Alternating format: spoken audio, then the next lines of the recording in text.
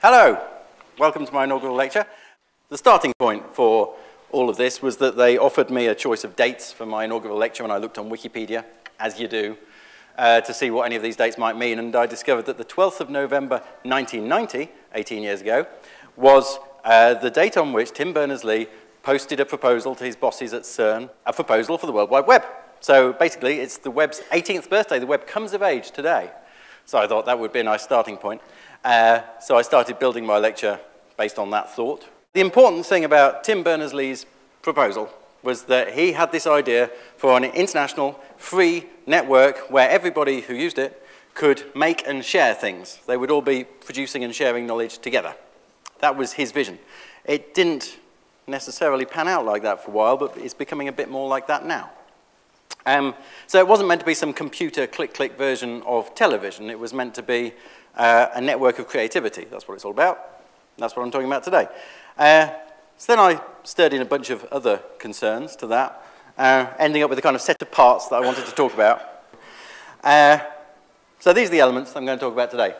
First of all, everyday creativity and Web 2.0, and contrasting that with traditional media, uh, especially television. Mm. I'm going to connect that in some ways with our assessment-driven education system. And then I'll connect those things with environmental problems and climate change. One way to try to deal creatively with some of those challenges are what I call tools for thinking, which I'll be talking about. And, so that, that's Finn, my son, who's uh, 10 months old. There he is in, in photographic form. you know, I have greater concerns about the future than ever because of this. Um, Web 2.0, you've probably heard about it, and I, I can see from most of your faces that most of you know what it is. I've built this for you in Lego. So this is, in, metaphorically speaking, this is the web as it was for many years from you know, when we first started to notice it in 94, 95, up to the early 2000s. And in some ways, still, we have uh, a web world like this, where you've got people with gardens separate little gardens. Maybe one of those is me working away on my website, made by me. Nobody else really contributes, it's me that does it. Another one, you know, there's maybe the BBC making their website made by them. There it is, presented by the BBC to the world, and so on. So you've got lots of different websites, lots of diversity, all very interesting, lots of interesting gardens, um, but they're separate. They've got fences between them. Um, so separate producers working on separate things.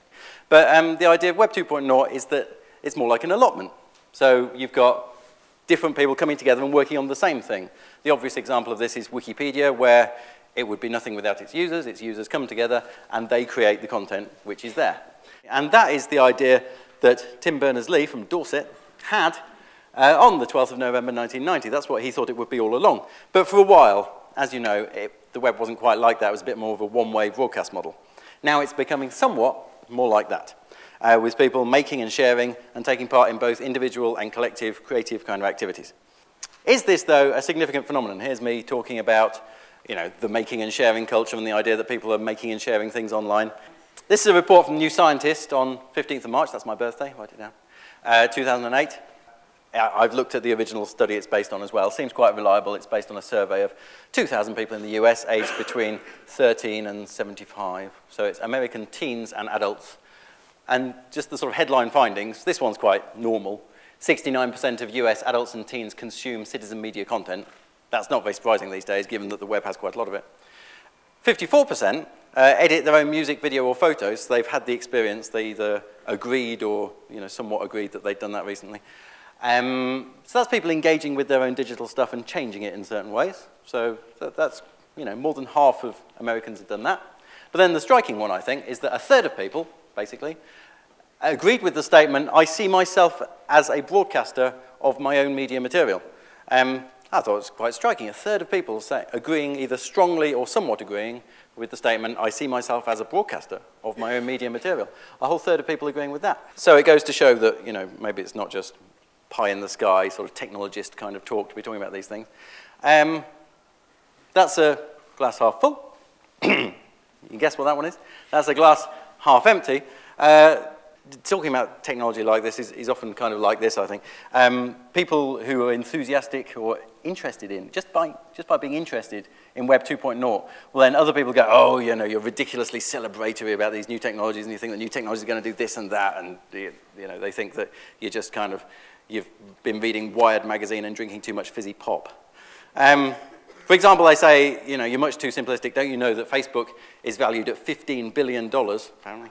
Uh, not because it's a, a, cool website, but because it's a vast harvester of people's personal data. They willingly and happily put their personal data uh, into Facebook and, you know, uh, and create um, a massive warehouse of data of enormous value to corporations that want to get their hands on such stuff.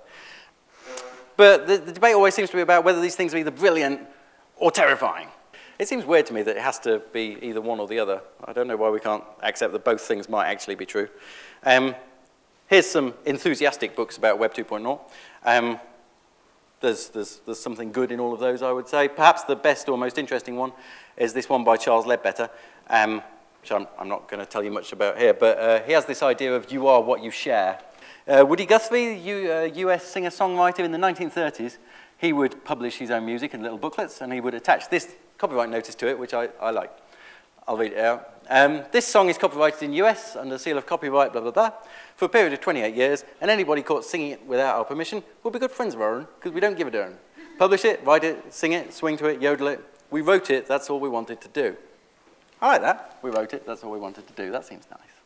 Um, and that's the kind of spirit which uh, Charles Leadbeater gets excited about in this book, the idea of people just making stuff and putting it out there so that other people can do whatever they want with it.